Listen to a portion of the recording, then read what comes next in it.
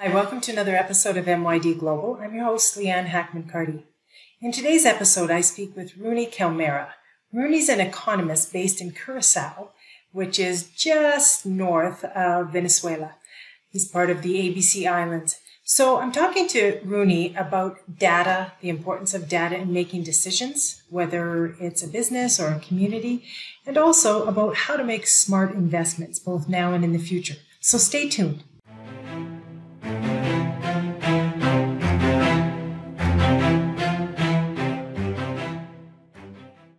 Runy, good to see you today. How are you doing? Great, great, Leanne. Thank you for inviting me. Well, it's a pleasure. I know you and I are both involved with the Island Innovation Forum, and I wanted to take a chance to talk to you a little bit about what you're seeing in Curacao and uh, elsewhere in the Caribbean. So, before we get started, can you just talk a little bit about your background? Yes. Okay. Now, so I I am a dreamer. I like to dream about the future, about a better future state. I'm a big percussionist. I like uh, to play uh, uh, uh percussion, congas. I'm a trainer. I train. Uh, I give training. I like to educate people to to share my knowledge. And as last, I'm a I'm an economist. So I turn I turn data into analysis so that people, businesses, NGOs, that they can turn uh, create the right uh, policies. So that's what that's all the, the different versions of me. And I live in Curacao, beautiful Curacao. I, I think this is the first time I've met an economist that plays the conga, like the drums. I mean, that's that's awesome. Um, yes. So I wanted to talk about. You mentioned data. I know a lot of people, you know, communities, businesses, they don't take data as seriously as they probably should. And yes. I know that's something that you're passionate about. Can you just talk about why it's so important to have good data? Now there are at least I think five reasons why uh, why that data is very very important. Now the first one is without data you don't know what happened. So that's the past. You don't know what happened what happened in the past. Uh, imagine you are you are driving somewhere and you don't have data how many mileage you, you have uh, you have done. You don't know how far you are. Uh, with without data, you don't know uh, the the the current situation where you are. So you are just flying blind all over the all, all over the place. And especially for businesses, etc., you want to know the current situation. Uh, without data, you don't know where you're going. You don't have the targets. So data is also when you're setting a target, you want to grow, you want to become more resilient, you need to measure that, and that you do that with data. Um, without data, they don't take you serious. So if imagine you if you are a, a, business owner and you want to have a loan to invest into your your your company, or you are an NGO and you don't have any data about how many people you are supporting, how big the grant is going to be. You don't have any data. So then people will not take you for, for serious. Um, they don't take you seriously. So data is very important to measure, to measure where you have been, where you are, where you want to be going. And actually, I do most of the things. I first start with data. I start with analyzing the data, analyzing a graph, etc. You can learn a lot about uh, about uh, where you are, where you want to be with data. There are a lot of people they they don't want to discuss data and they just talk about certain things. But I always uh, urge businesses, NGOs to get the data about their main processes. And that's critical. I know when we're dealing with uh, various communities after a disaster, one of the things is is what do you have on your business community? What data do you have? Do you, do you know how many businesses you, you have? Who they sell to? Who's in their supply chain? How many employees do they have?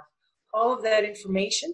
If you don't have it, then and a disaster happens, it just makes it that much harder to move forward. Yes. Um, the, the, other thing is obviously an economic impact, and that's something that you would know a lot more about than myself. But when you know communities are, are devastated after a disaster, they're being asked by government, "What's the economic impact?" Yes.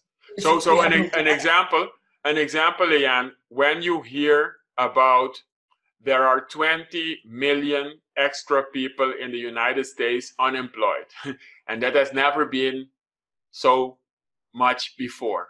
Then, if you are a community and you are dependent on the United States, 20 million, it has never been like that. Even in the in the in the recession, in the big depression, it has never been like that. When you hear that United States they had 3.8 um, percentage of unemployment, and now it's already going to 15 percent, and then it might be to 20 percent. So that data is already telling you that it's going to be big. When you hear about China or Europe, Europe, and I heard last Canada that it's going to contract with 7.5 percent. So the whole economy is going down with 7.5 percent, and that is also in Europe. They first came with it is 7.5 percent, and then somebody from the IMF, the the highest, uh, Miss Christine Lagarde said it's not seven and a half percent, it's 15 percent. So you see how big the impact is with data. So just giving you your your viewers a, a, a sense of some indicators how how big that uh, what what that is.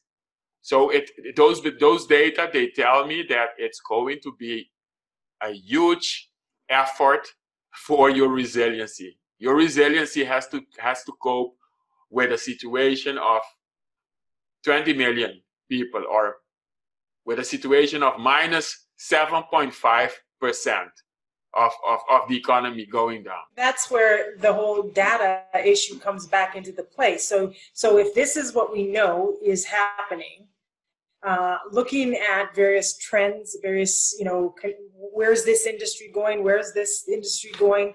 Being able to understand what some of those trends are going to be, uh, because there's going to be a post-COVID economy, and so where are those opportunities that may not have been there before? But data should drive some of, if not all of those discussions and decisions. And so someone like yourself could be extremely valuable as communities and businesses are starting to, to come out of their holes and, and look for opportunities. Um, one of the things too uh, you look at, and I know I look at as well, is this whole thing resilience, this word. How would you define resilience?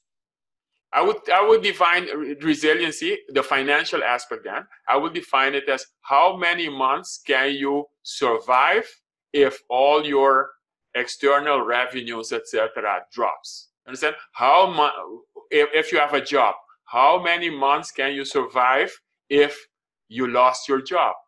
Is it like one after one month you are already you have to sell the house? Or after one month your kids cannot go to school anymore? You see so I, i'm trying to to to define that resiliency in a metric uh, and and if you look at the total uh, the total economy uh, resilient of, a, of an economy it's all it also has to do with those kind of things. If is your finances are they okay do you have a huge debt uh, can you pay your salaries. You see? Um, and then there is also an aspect of resiliency with environment, etc., the sustainable development goals. Um, I'm not, I have not yet defined the resiliency with the, with the environment, but I would say if you are generating a lot of money, uh, jobs, etc., is your environment resilient? Is can your environment cope with all those tourists, uh, all that uh, all those hotels, etc., etc.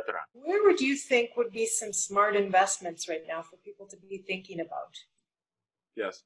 Now, okay. So in general, I would say you have to invest in education. You have to always invest in education, even in these these uh, situations, because when you invest in your education, you will be more able to survive.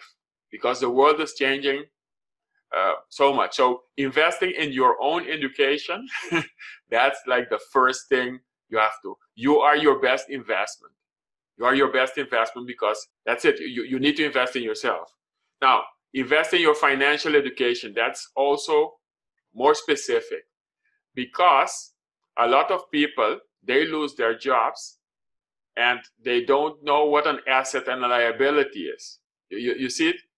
they think I have a credit card and that is a good thing. But a credit card is a liability because it takes money out of your pocket. If you if you have a, a, a house, a house also takes money out of your, your pocket. So what I'm saying is you need to invest in your financial literacy also in the financial literacy of your kids because that's going to make you more resilient in the future. If you just tell your kids, hey, this is a job, just work, go, go on education, go for a job. Um, they are not resilient anymore because jobs are lost. Uh, there was like um, Airbnb. I think they lost. They they sent. Uh, I heard they sent uh, a lot of people home because those people are highly educated, but they just lost their job. So financial literacy now, and then for a country, the third one is uh, invest in exporting. Uh, exporting and with exporting services, exporting goods, etc. Because especially for small islands, but your viewers that are from small islands, if you don't export, then you cannot um, pay for your imports.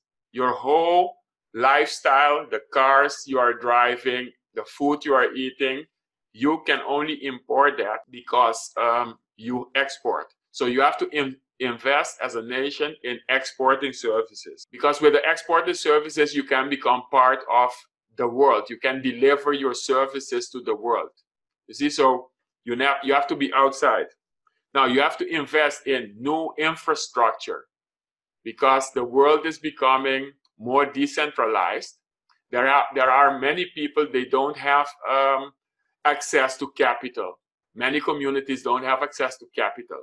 Now, there is something called the blockchain. And with the blockchain, I could send you $10,000 right now, and you can go to the groceries and you can eat. You know, with a blockchain, um, it is fast. You you you get you can receive currency. So you have to you have to as a government and as, as a country as a community you you have to invest in those types of, of infrastructure in the blockchain so that you you can become part of the world. 24 years ago there was something called the internet and it just begun.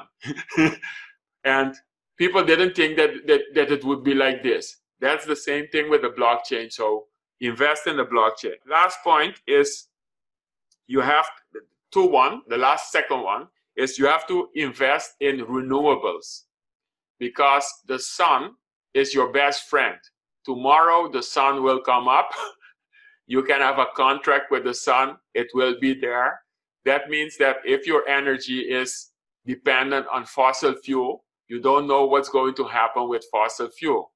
Uh, you don't know what's going to happen. Right now, the oil price is very low, but the oil price can go up. You see, it can go up to $100 uh, if Saudi Arabia and Russia decide to lower the, the supply, sun, wind, etc. You have to invest in that. And then you have to invest in food.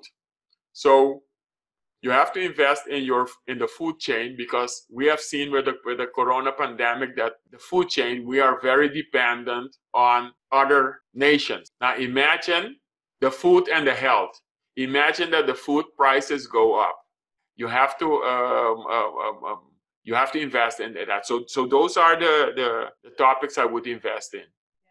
Well, and I think for most island communities in particular, I think it was Puerto Rico imports 90% of their food. And so you just think so when you have a natural disaster happening or even COVID, no access to that transporting into your community with the goods, that's a huge vulnerability. So that whole food security issue, that's a whole other topic to look yes. at for sure. And yeah, so the oil, because you mentioned Puerto Rico, I know that the food bill, so from the total imports, the food bill and the fuel bill, the fossil fuel bill of the Caribbean, I know for sure for Puerto Rico, it is a high uh, percentage.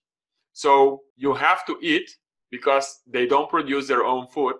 So you have to eat, and you are dependent on on uh, on the fossil fuel. So when something things happen, your tourism goes down, you don't have the dollars anymore or the euros to buy the oil, to buy the food. So you are not resilient anymore. So I'm not saying we should all produce our own food, etc., but we should think about uh, where does your food uh, come from. And uh, there are a lot of people doing aquaponics or doing anything. So if you are a community, think about your food because if your uh, currency devaluates, becomes less in value, you still need to import that food. You still need to import that oil.